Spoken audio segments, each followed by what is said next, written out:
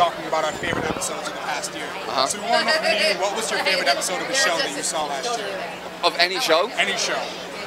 I really liked uh, a community episode. You know the show Community? There's a community episode where there were six different storylines, and it was done with a roll of a dice, and it was absolutely amazing.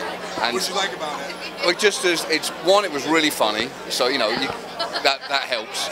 And two, it's one of the most audacious things I've ever seen any network sitcom try and do, and I thought it was incredible. I couldn't believe it. I got to the first ad break and realised, holy shit! I think they're about to try and do this for the whole episode, and it was unbelievable. So I think that is the, that is the most amazing comedic thing I saw over the last year. Absolutely. Uh, uh, uh, John, uh, do you have any more returning stints on uh, Community this season? That was that was not. I'm not saying that because I was not in that episode.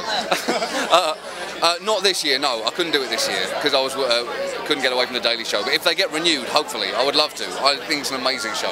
Yeah. Thank you.